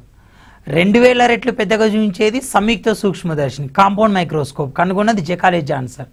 సో ఇక next last high advanced micro electron microscope ఏంటి అంటే రె- లక్ష రెట్లు పెద్దగా చూపిస్తుంది. దీన్ని నాలైన్ రస్కా కనుగొన్నారు రస్కా నాలైన్ రస్కా. మీరు టకీమన్ మైక్రోస్కోప్ అనగానే యాంటీవన్ లీనాకు పెట్టద్దు. మైక్రోస్కోప్లో రకరకాలు ఉన్నాయి. సో అభ్యర్థులు ఏంటంటే ఎగ్జామ్ రాసినప్పుడు క్వశ్చన్లో వాళ్ళు స్పీడప్ ఉంటారు. మీరు ఎలక్ట్రాన్ మైక్రోస్కోప్ అనగానే ఆ- ఆ ప్రెషర్లో ఆ మూడు గంటల ప్రెషర్లో ఇదంతా చదవకుండా జస్ట్ టకిమన్ మైక్రోస్కోప్ అన్నది ఒకటే మైండ్లో ఫిక్స్ అయిపోతుంది. మైక్రోస్కోప్ అనగానే యాంటీవన్ లీమైనాకు పెడతారు. మీరు క్వశ్చన్ జాగ్రత్తగా చదవాలి. కీవర్డ్స్ కొన్ని ఉంటాయి. సరికానిది సరి అయినది సో తప్పు జత సరైన జత. ఇట్లాంటి కీవర్డ్స్ కూడా జాగ్రత్తగా చూడాలి. సో ఇది శాస్త్రవేత్తలు ప పరికరాల కింద వస్తుంది అని మీరు కన్సిడర్ చేసుకోవచ్చు. రెండు వేల పద్దెనిమిదిలో పద్మశ్రీకి ఎంపికైన వారిలో తప్పు జత గుర్తించండి. పద్మశ్రీ గురించి క్వశ్చన్లు మూడు నుంచి నాలుగు రకాలుగా అడగవచ్చు ఒకటి రెండు వేల పద్దెనిమిదిలో పద్మ పురస్కారాలు ఎంతమందికి వచ్చినాయి? అంటే ఎనభై ఐదు. లేదా రెండు వేల పద్దెనిమిదిలో పద్మశ్రీ ఎంతమందికి వచ్చినాయి? అంటే డెబ్బై మూడు. నంబర్ మీద అడగడం ఒకటి. రెండోది రెండు వేల పద్దెనిమిదిలో తెలుగు వాళ్ళకి ఎంతమందికి వచ్చినాయి? లేదా రెండు వేల పద్దెనిమిదిలో పద్మ అవార్డులు మొత్తం పొందిన తెలంగాణ వారెందరూ? ఇది ఒక కోణం. ఇక రెండో కోణం. ఈ క్రింది వానలో పద్మశ్రీ పొందినవారు లేదా పొందనివారు? నాలుగు ఇస్తాడు ఏబిసిడి పొందినవారు అంటే ముగ్గురు పొందినవారు ఉంటారు ఒకరు పొందనివాడు ఉంటారు. పొందనివారు అంటే సో సారీ పొందినవారు అంటే ముగ్గురు పొందనివారు ఉంటారు ఒకరు పొందినవారు అవుతారు. సో రివర్స్ అన్నమాట. సో ఇక్కడ తప్పు జత. అంటే ఇక్కడ గ్రహీత పేరు చూడాలి అటు ఏ రంగంలో వచ్చింది? సో ఇప్పుడు కొందరికి సైన్స్ ఇంజనీరింగ్లో వస్తుంది కొందరికి వైద్యంలో వస్తుంది కొందరికి క్రీడలలో వస్తుంది. ఇలా ఒక్కొక్క రంగులో కొందరికి వస్తుంది కదా.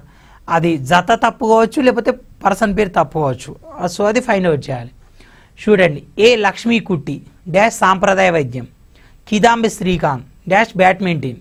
చంద్రశేఖర్ రత్ ఒరియా రచయిత. సిద్ధేశ్వర స్వామీజీ సైన్స్ ఇంజనీరింగ్ ఇప్పుడు కిదాంబి శ్రీకాంత్ బ్యాడ్మింటన్ కరెక్టే కానీ ఆయన పద్మశ్రీ రావాలని ఏమున్నది? ఇప్పుడు మీరు కిదాంబి శ్రీకాంత్ బ్యాడ్మింటన్ అనగానే ఓ ఇది కరెక్టే అని అనుకోవద్దు. So Kidambi Srikanth badminton person కరెక్టే రంగం కరెక్టే పద్మశ్రీ వచ్చిందో లేదో కూడా చూడాలి అది మూడో కోణం. లక్ష్మీ కుట్టి మీ కేరళకు చెందిన సాంప్రదాయ వైద్యురాలు కేరళలో ఒక నాలుగైదు నాలుగైదు జిల్లాల వాళ్ళు ఈమె వైద్యాన్ని యూజ్ చేసుకుంటున్నారు కాబట్టి వచ్చింది. కిదాంబి శ్రీకాంత్ బ్యాడ్మింటన్ జత కరెక్టే ఆయనకు కూడా అవార్డు కూడా వచ్చింది. సో మొత్తం టోటల్ రెండు వేల పద్దెనిమిదిలో దేశవ్యాప్తంగా ఎనభై ఐదు మందికి పద్మ అవార్డులు వచ్చినాయి. సో దానిలో పద్మ అవార్డుకి ఎంపికైన ఏకైక తెలుగు వ్యక్తి తెలుగు రాష్ట్రాల నుంచి ఈవెన్ తెలంగాణ ఆంధ్ర కలిపి కిదాంబ శ్రీకాంత్ ఒకరే సో అలాగే చంద్రశేఖరత్ ఒరియా రచయిత ఆయన అవార్డు ప్రకటించిన తర్వాత చనిపోయారు. Siddheshwar Swamiji science engineering. Siddheshwara స్వామీజీకి పద్మ అవార్డు వచ్చింది. కానీ అది సైన్స్ ఇంజనీరింగ్లో కృషి చేసిన కృషికి కాదు. ఆయన ఆధ్యాత్మిక రంగంలో చేసిన కృషికి వచ్చింది. ఈ ఆప్షన్ ఎందుకు ఇచ్చానంటే ఈ పర్సన్కి ఇంకో ప్రత్యేకత ఉంది.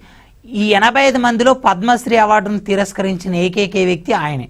ఆయన అవార్డు తిరస్కరించాడు. ఈయన కర్ణాట కర్ణాటక ప్రాంతానికి చెందిన వ్యక్తి.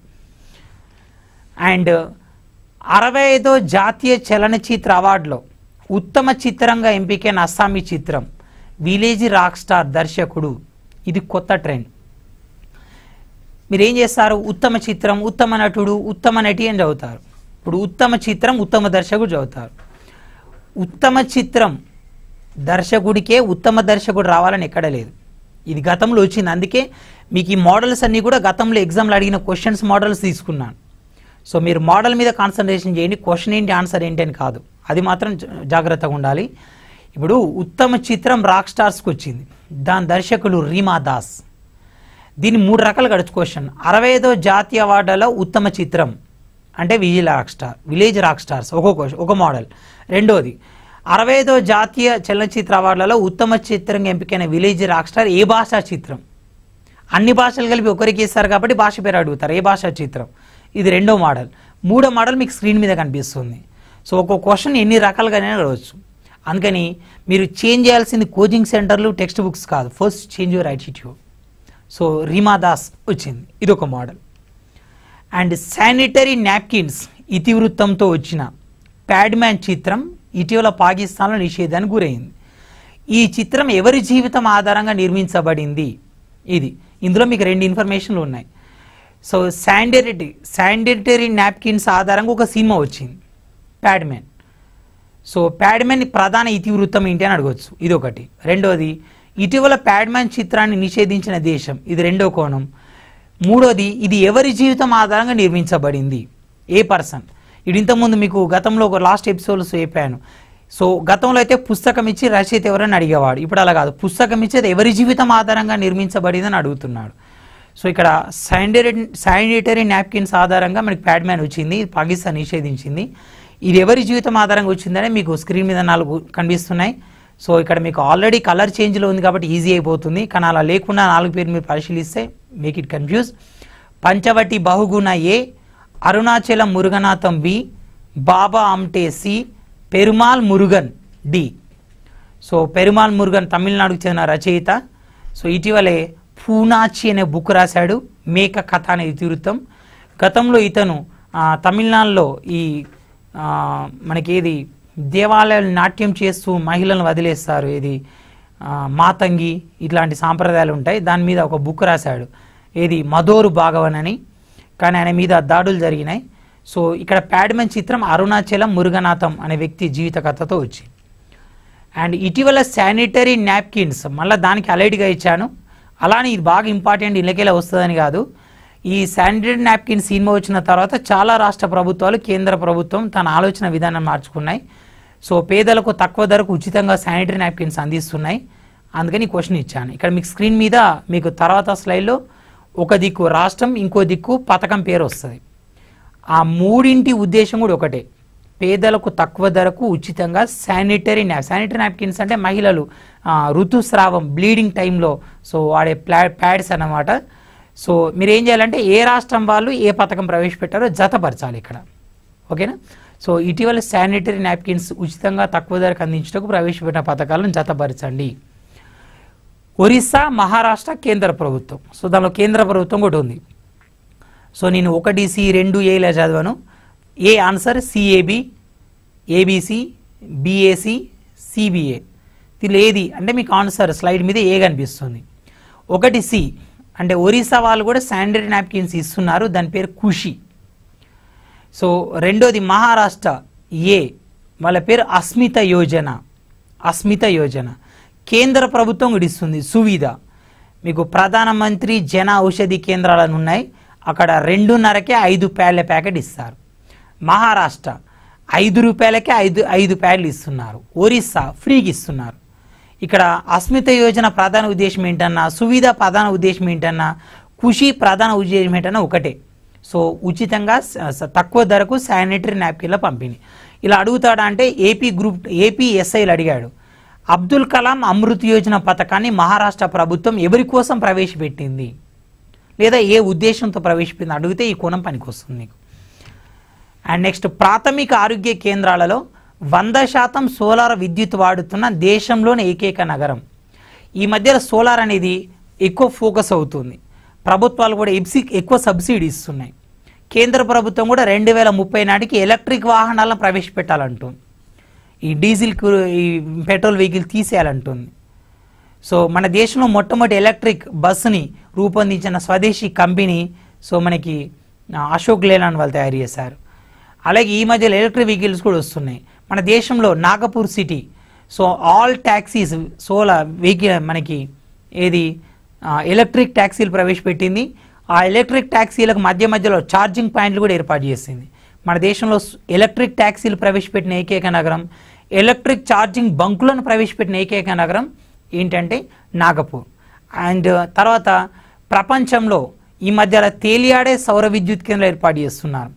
అదేం సార్ సోలార్ విద్యుత్ కేంద్రం భూమి మీద పెట్టవచ్చు కదా. ఒక మెగావాట్ సామర్థ్యం గల విద్యుత్ కేంద్రం ఏర్పాటు చేయాలంటే ఐదు ఎకరాల భూమి కావాలి. ఇప్పుడు కర్ణాటక ప్రపంచంలోనే అతిపెద్ద సోలార్ విద్యుత్ కేంద్రం. రెండు వేల మెగావాట్ల విద్యుత్ కేంద్రం ప్రవేశారు అంటే రెండు వేలు ఉంటే ఐదు ఎకరాలు వేసుకుంటే మినిమం పదివేల ఎకరాలు కావాలి.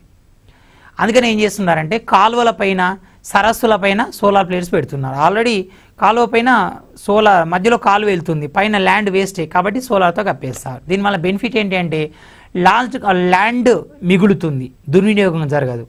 ల్యాండ్ కాస్ట్ తగ్గుతుంది. ఒక ప్రాజెక్టులో అత్యధిక ఖర్చు ల్యాండ్కే పోతుంది. ల్యాండ్ కాస్ట్ తగ్గుతుంది. కాబట్టి సోలార్ తక్కువ ధరకే వస్తుంది. సో అలా ప్రపంచంలో అతిపెద్ద తేలియాడే సౌర విద్యుత్ కేంద్రం చైనా వాళ్ళు పెట్టారు. సో మన దేశంలో కేరళలోని వయనాడ్ జిల్లా బనసాగర్ రిజర్వాయర్పై పెట్టారు. అంటే ప్రపంచంలో తేలియాడే అతిపెద్ద తేలియాడే విద్యుత్ కేంద్రాలు సౌర విద్యుత్ కేంద్రాలు ప్రపంచంలో అయితే చైనాలో ఉంది ఇండియాలో అయితే కేరళలో ఉంది. ఇదేంటి? వంద శాతం సోలార్ విద్యుత్ వాడుతున్న నగరం అన్నాం. సో వంద శాతం సోలార్ విద్యుత్ వాడుతున్న నగరం అది కూడా ప్రాథమిక ఆరోగ్య కేంద్రాల్లో ప్రాథమిక ఆరోగ్య కేంద్రం కాకుండా టోటల్గా అన్ని పనులకు వంద శాతం విద్యుత్ వాడుతున్న నగరం ఏమో డయు ఉంది. ఇది ఓన్లీ ప్రాథమిక ఆరోగ్య కేంద్రాలకే దట్ ఈస్ సూరత్. అండ్ వంద శాతం సోలార్ విద్యుత్ వాడుతున్న దేశంలో తొలి స్మార్ట్ నగరం. మన దేశంలో వంద స్మార్ట్ నగరాలు ఎంపిక చేసింది కేంద్ర ప్రభుత్వం. సో దానిలో ఏది? తిరుపతి ఆగ్రా గుహవటి గౌహతికి కొత్త పేరు గుహవటి. సో డయ్యు. దీనిలో డయ్యులో వంద శాతం సోలార్ విద్యుత్ వాడుతున్నారు. ఓన్లీ స్మార్ట్ నగరాలు మట్టుకు తీసుకుంటే. అండ్ శ్రీనివాస రామానుజం జ్ఞాపకార్థం డిసెంబర్ ఇరవై రెండును జాతీయ గణిత శాస్త్ర దినోత్సవంగా ఎప్పటి నుంచి నిర్వహిస్తున్నారు? శ్రీనివాస రామానుజం జయంతి డిసెంబర్ ఇరవై రెండు. దాన్ని మనం నేషనల్ మ్యాథమెటిక్స్ డే అన్నాం.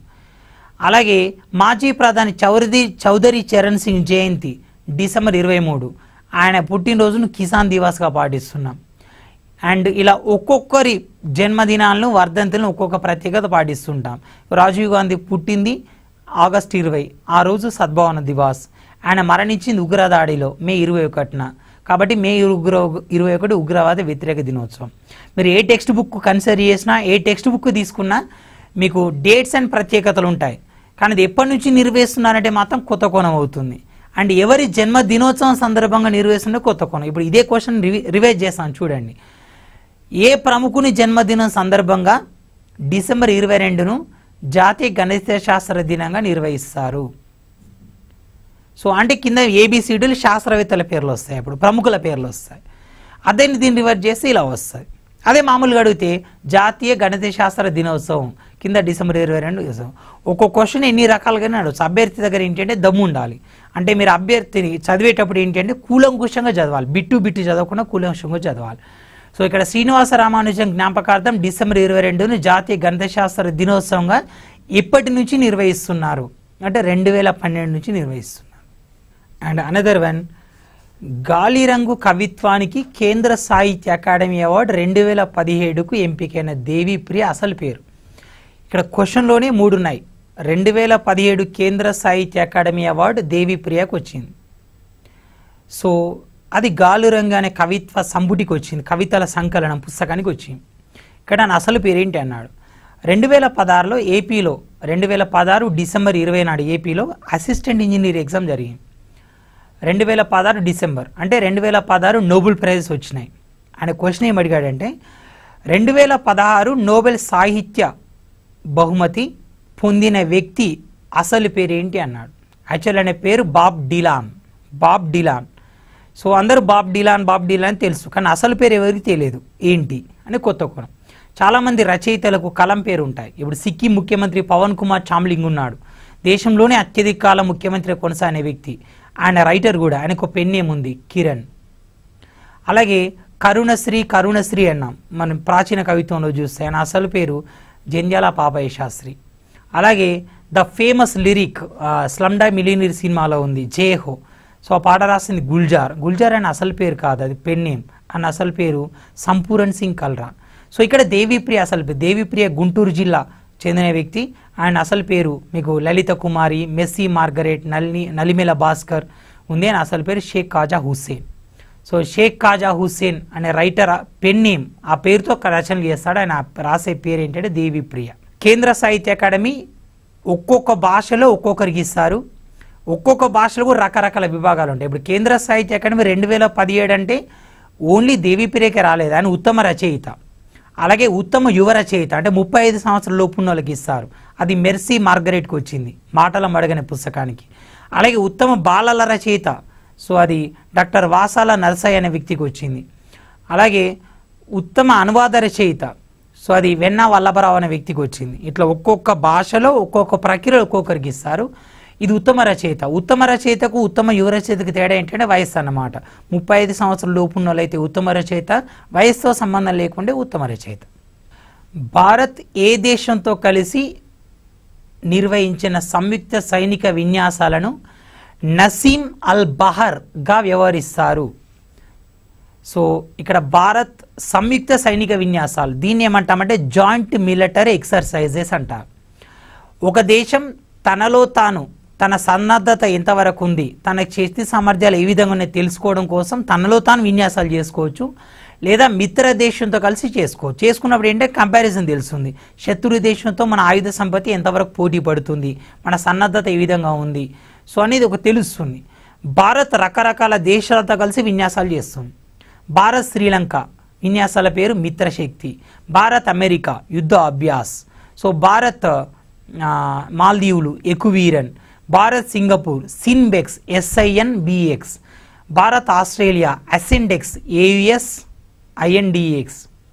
AUSINDEX. So ఇలా ప్రతి ఈ కోడ్ మారదు. ఎన్ని సంవత్సరాలు ఇదే పేరు. ఇప్పుడు భారత్ నేపాల్ ఉన్నాయి. గత తొమ్మిది సంవత్సరాలుగా ఒకటే పేరుతో విన్యాసాలు చేస్తున్నారు సూర్య కిరణ్ పక్కకు సంవత్సరం మారుతుంది two thousand seventeen eighteen nineteen మారుతుంది. ఇక్కడ నసీం అల్ బహార్ అనేవి రెండు దేశాలు చేసిన విన్యాసాలు. ఆ రెండు దేశాల భారత్ ఒకటి. మిగతా దేశం ఏంటని అడుగుతున్నాడు. Saudi Arabia మాల్దీవులు Iran Oman. So answer is Oman. And రెండు వేల పదిహేడుకి గాను మహిళా విభాగంలో ప్రపంచ ర్యాపిడ్ చెస్ ఛాంపియన్షిప్ విజేత ఎవరు? ఇక్కడ ర్యాపిడ్ చెస్లో రెండు విభాగాలు ఉంటాయి. ర్యాపిడ్ ఉంటుంది బ్లిడ్జ్ ఉంటుంది. అదే పురుషులు అనుకోండి ర్యాపిడ్ విభాగంలో last year champion Viswanath Anand పురుషుల విభాగంలో champion Magnus Carlsen. So sorry rapid విభాగంలో విశ్వనాథ్ ఆనంద్ బ్లిడ్జ్ విభాగంలో సో మనకి మ్యాగ్నస్ కార్లసన్ నార్వే. సో అదే మహిళల విభాగంలో ర్యాపిడ్ విభాగంలో ఎవరు కూర్చున్నాడు? జియో వెంజు చైనా. సో ఈ పోటీలు సౌదీలో జరిగినాయి. సో ప్రపంచ చెస్ ఛాంపియన్షిప్ పోటీలు తొలిసారి నిర్వహించిన దేశం ఇటీవల ఏంటంటే సౌదీ అరేబియా.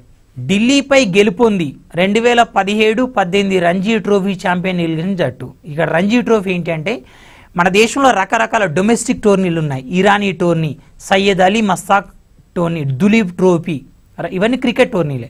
ఇప్పుడు ఫుట్బాల్లో నెహ్రూ కప్ డ్యూరాండ్ కప్ ఏ విధంగానో క్రికెట్లో ఇవన్నీ ఇరానీ కప్ డ్యూ అండ్ తర్వాత దులీప్ ట్రోఫీ ఇవన్నీ. సయ్యద్ మస్తాక్ అలా టీ ట్వంటీ రంజీ ట్రోఫీ. ప్రపంచంలో అయితే వరల్డ్ కప్ ఉంది. మరి మన దేశంలో అత్యున్నత క్రికెట్ టోర్నీ ఏంటి? మన దేశం మట్టుకు అంటే Ranji trophy. Ranji trophy start అయింది పంతొమ్మిది వందల ముప్పై ముప్పై ఒకటి ప్రాంతంలో. మన దేశంలో క్రికెట్ అంటే తెలియని రోజుల్లోనే పంతొమ్మిది వందల పదిహేడులో మహారాజా రంజిత్ సిన్హజీ అనే వ్యక్తి విదేశాల క్లబ్ల తరపున క్రికెట్ ఆడాడు. విదేశీ క్లబ్ల తరపున క్రికెట్ ఆడిన మొదటి వ్యక్తి మహారాజా రంజిత్ సిన్హజీ కాబట్టి ఆయన పేరుతో ఒక టోర్నీ వచ్చింది. సో దట్ ఈజ్ అది రంజీ ట్రోఫీ. సో ఇక్కడ ఢిల్లీపై గెలుపొంది అన్నాడు. అంటే ఓడిపోయిన జట్టు ఢిల్లీ. ఫైనల్లో. ఫైనలిస్ట్ ఢిల్లీ ఇంకో టీం ఉంది. సో ఢిల్లీ ఓడిపోయింది. దానిపైన గెలుపొందడం ద్వారా రంజీ ఛాంపియన్ ఎవరు నిలిచారంటే విదర్భ. మరి టూ థౌజండ్ సెవెంటీన్ ఎయిటీన్ అంటే ఇక్కడ సెవెంటీన్ ఎయిటీన్ ఉంటుంది. ఎలా అంటే మ్యాచ్లన్నీ ఒక సంవత్సరం జరుగుతాయి. ఫైనల్ జనవరిలో జరుగుతుంది. అంటే ఇప్పుడు రెండు వేల పద్దెనిమిది జనవరిలో జరిగింది. కాబట్టి పదిహేడు డాష్ పద్దెనిమిది అని మీరు సింపుల్గా పద్దెనిమిది అనుకున్న తప్పేం లేదు. అండ్ రెండు వేల పద్దెనిమిది జనవరి పన్నెండు నుంచి పదహారు వరకు ఇరవై రెండో జాతీయ యువజన ఉత్సవాలు ఏ నగరం వేదికగా నిర్వహించారు? ఇది కూడా సదస్సులు సమావేశాల కిందకే వస్తుంది. సో ప్రతి సంవత్సరం వివేకానందుని జయంతి జనవరి పన్నెండు ఏదైతే ఉందో దాన్ని మనం జాతీయ యువజన దినోత్సవంగా జరుపుకుంటాం. ప్రతి సంవత్సరం జనవరి పన్నెండు సందర్భంగా జాతీయ యువజన ఉత్సవాలు జరుగుతాయి. ఒక్కొక్క సంవత్సరం ఒక్కొక్క నగరంలో జరుగుతాయి. రెండు వేల పద్దెనిమిదిలో ఏ ఏ నగరంలో జరిగినాయని అడిగాడు. రాజస్థాన్లో జైపూర్లో జరిగినాయి. Next one. ప్యాసింజర్ రైలుకు ఎప్పటిలోగా బయో టాయిలెట్లను వంద శాతం అమర్చాలని కేంద్రం నిర్ణయించింది. సో రైల్వేలలో మనకు మరుగుదొడ్లు అనేవి ఓపెన్ టాయిలెట్స్ ఉన్నాయి. సో విసర్జన క్రియ జరిగినప్పుడు సో పట్టాలపైన విసర్జక పదార్థాలు పడడం అండ్ తర్వాత అపరిశుభ్ర వాతావరణం ఉండడం. సో ఇవన్నీ జరుగుతున్నాయి. కాబట్టి బయో టాయిలెట్ బయో టాయిలెట్స్ అంటే క్లోజ్డ్ ఉంటాయి టాయిలెట్స్ కింద. సో దానిలో ప్రతి హాఫ్ అన్ అవర్కు వాటర్ పడుతూనే ఉండాలి. దానిలో ఒక రకమైన బ్యాక్టీరియా ఉంటుంది. సో అది దానిలో పడిపోయిన ఆ విసర్జక పదార్థాన్ని డిగ్రేడ్ చేస్తుంది. ఆ తర్వాత దాన్ని వేరే దగ్గర డమ్ చేసి పడేస్తారు. ఇప్పుడు పెద్ద పెద్ద ఉత్సవాలు జాతరలు ఇలాంటివి జరిగినప్పుడు ఏంటంటే ఇప్పుడు సమ్మక్క సారలమ్మ జాతర బయో టాయిలెట్ అరేంజ్ చేస్తారు. మీరు డిస్ట్రిక్ట్ హెడ్ క్వార్టర్లో కూడా అక్కడక్కడ బయో టాయిలెట్స్ అరేంజ్ చేస్తున్నారు. దానిలో వన్ టైప్ ఆఫ్ బ్యాక్టీరియా ఉంటుంది అది డిగ్రేడ్ చేస్తుంది. ఆంధ్రప్రదేశ్ ప్రభుత్వం రెండు వేల పద్దెనిమిది సంవత్సరాన్ని క్రింది విధంగా ప్రకటించింది.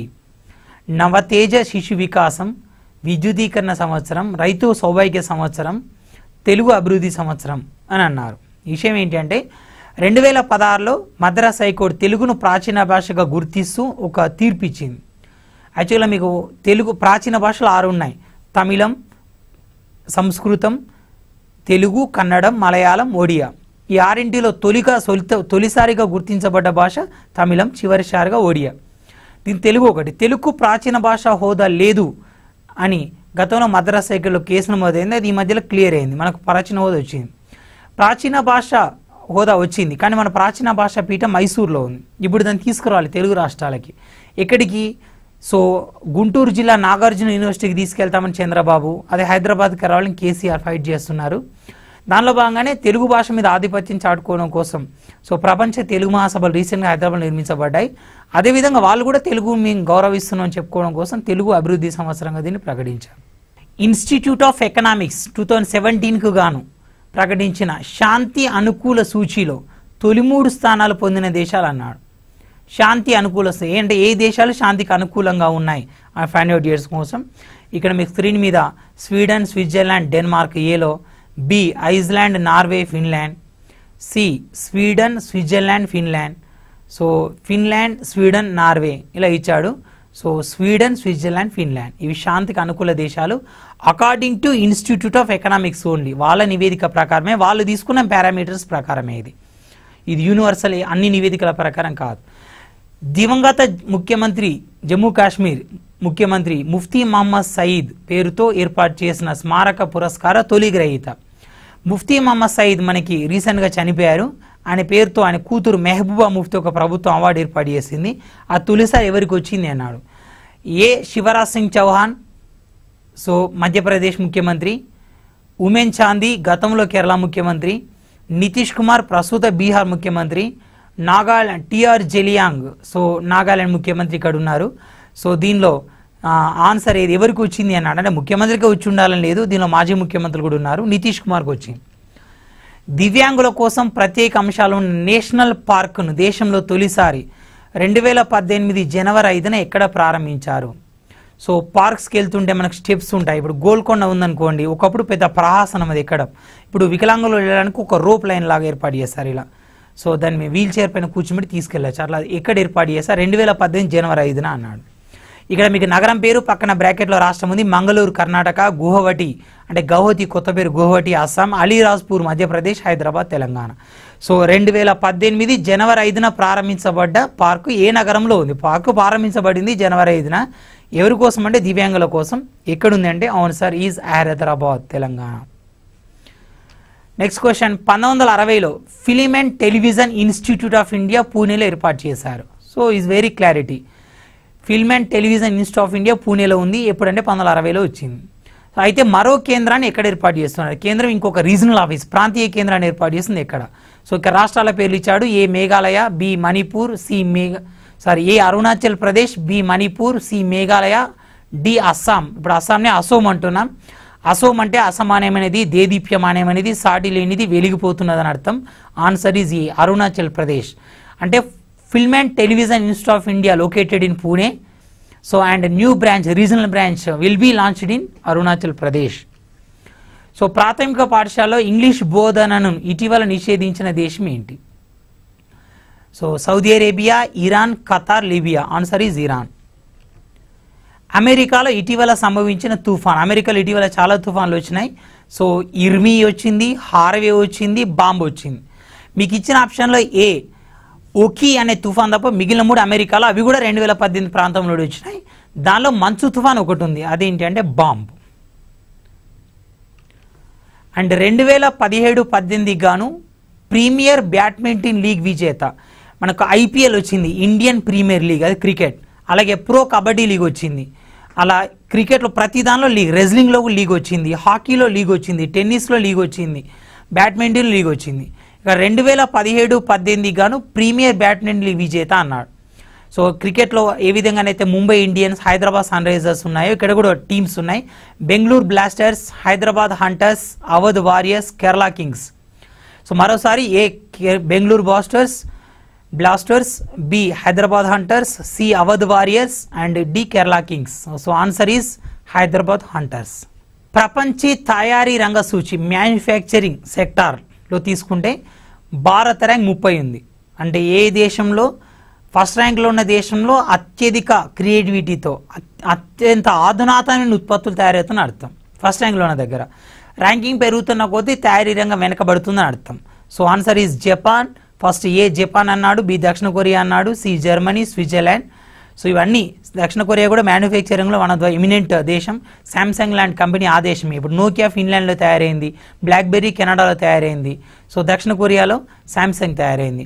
స్విట్జర్లాండ్ మ్యానుఫ్యాక్చరింగ్ జర్మనీ మ్యానుఫ్యాక్చరింగ్ చెప్పాల్సిన అవసరం లేదు. ఇక్కడ మ్యానుఫ్యాక్చరింగ్ రంగం కుటీర పరిశ్రమ లాంటిదే. సో జర్మనీ సో ఇక్కడ ఆన్సర్ ఏంటి అంటే జపాన్ ఇటీవల విస్తరించిన ఉడాన్ పథకానికి సంబంధించి సరికానిది ఏంటి? ఉడాన్ స్కీమ్ వచ్చింది. ఇక్కడ ఏమన్నాడు ఉడాన్ ఫుల్ ఫామ్ ఇచ్చాడు. ఉడే దేశ్ కా ఆమ్ నాగరిక్. రెండోది ఏమన్నాడు రెండు వేల పదిహేడు ఏప్రిల్ ఇరవై ఏడున ప్రారంభం. ఓకే ఇది క్లారిటీ. అండ్ తొలి మార్గం సిమ్లా నుంచి ఢిల్లీకి ప్రారంభించారు. సో ఇది క్లారిటీ. ప్రస్తుతం గుర్తించిన మార్గాలు మూడు వందల ఇరవై ఐదు. ఓకే ఇప్పుడు మూడు వందల ఇరవై ఐదు మార్గాలు నడుస్తుంది హైదరాబాద్ టు విజయవాడ హైదరాబాద్ టు ముంబై హైదరాబాద్ ఇలా అన్నమాట. మూడు వందల ఇరవై ఐదు మార్గాలు గుర్తించింది. సో అలాగే అంతర్గత విమానాశ్రయాన్ని ప్రోత్సహిస్తారు. ఇది కరెక్టే. సో విమానంలో డెబ్బై శాతం సీట్లని మొత్తం ఆరు స్టేట్మెంట్లు ఇచ్చాడు. ఇందులో సరికానిది ఏంటి? ఆరింటిలో ఒకటే సరికానిది ఉండొచ్చు రెండు ఉండొచ్చు మూడు ఉండొచ్చు అన్నీ ఉండొచ్చు. ఇక్కడ ఏ నాలుగు ఆరు సరికావు. ఏంటి నాలుగు ఆరు? సో తొలి మార్గం సారీ ప్రస్తుతం గుర్తించిన మార్గాలు మూడు వందల ఇరవై ఐదు అండ్ విమానంలో డెబ్బై శాతం సీట్లు కేటాయిస్తారు. రెండు ఆరు సరికావు. సో రెండేంటి? రెండు వేల పదిహేడు ఏప్రిల్ ఇరవైన ప్రారంభం కరెక్టే. ఆరు సరికాదు నాలుగు సరికాదు. నాలుగు నాలుగేంటి? సో ప్రస్తుతం గుర్తించిన మార్గాలు మూడు వందల ఇరవై ఐదు. ఇక్కడ సరికానిది ఆరే యాక్చువల్ ఉడాన్ ఏంటి అంటే దేశంలో చిన్న చిన్న పట్టణాల మధ్య విమానాల మార్గాలు పెంపొందించాలి. అండ్ అలాగే చిన్న చిన్న పట్టణాల విమానాశ్రయం నిర్మించాలి. దానికోసం ఏం చేస్తారంటే ప్రతి విమానంలో యాభై శాతం సీట్ల వరకు కేటాయిస్తారు. ఆ సీట్లను ఫిక్స్డ్ రేటుకి అమ్మాలి. అంటే ఎంత? మినిమం గంట ప్రయాణానికి మ్యాక్సిమం ఇరవై ఐదు వందలు. అంటే గంట కన్నా ఎంత తక్కువ ప్రయాణించినా వాడు ఎంత ఎక్కువ రేటు తీసుకున్నా ఇరవై ఐదు వందల కన్నా ఎక్కువ అమ్మకూడదు అనమాట సో అది యాభై శాతం సీట్ల వరకు కేటాయిస్తారు స్విట్జర్లాండ్లోని దావోస్లో జరిగిన ప్రపంచ ఆర్థిక ఫోరం రెండు వేల పద్దెనిమిది సమావేశాల ఇతివృత్తం ఏంటి అన్నాడు. The refreshing the world mastering the fourth industrial revolution and తర్వాత క్రియేటింగ్ ఏ షే future in a fractured world shared norm for the new reality. So ఇక్కడ ఆన్సర్ ఏంటంటే creating a new future in a fractured world నలభై రెండు. Inclusive development index సమ్మిళిత అభివృద్ధి సూచి. అంటే అన్ని రంగాలు కలిసి ఒకేసారి అభివృద్ధి చెందుతూ పోతే దాన్ని ఇంక్లూజివ్ డెవలప్మెంట్ ఇండెక్స్ అంటాం. రెండు వేల పద్దెనిమిదిలో భారత్కి ఎంతో ర్యాంక్ వచ్చింది అన్నాడు ఏ అరవై రెండు బి డెబ్బై ఒకటి సి నూట మూడు డి ఎనభై నాలుగు. సో ఆన్సర్ ఈజ్ ఏ అరవై రెండు. అండ్ విదేశాంగ శాఖ నూతన కార్యదర్శి. సో ఇది అపాయింట్మెంట్ సంబంధించింది. A S Jaishankar. So B Sudeep Lakhtakia. So C Vijay Keshav Gokhale. D Devyani Khobragade so C Vijay Keshav Gokhale. ఇటీవల విడుదలైన a century is a not enough ఎవరి ఆత్మకథ? ఓ క్రీడాకారుని ఆత్మకథ. వీరేంద్ర సేవాగ్ ఉన్నారు. మీకు ఆప్షన్లో ఏ బి సౌరభ్ గంగులు ఉన్నారు. సి జవగల్ శ్రీనాథ్ ఉన్నాడు. డి రాహుల్ ద్రావిడ్ ఉన్నాడు.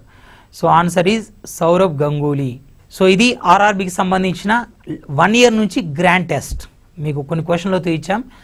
ఇక్కడ క్వశ్చన్ ఆన్సర్ క్వశ్చన్ ఏది ఆన్సర్ ఏదని కాకుండా ఏ టాపిక్ నుంచి ఎన్ని క్వశ్చన్లు వచ్చినాయి ఆ క్వశ్చన్ ఏ కోణంలో అడిగాడు ఇంపార్టెంట్ ఈ రెండు కనుక మీరు జాగ్రత్తగా ఆన్సర్ చేస్తే మంచి సోర్స్ సాధిస్తారు మంచి ఉద్యోగం సాధిస్తారు.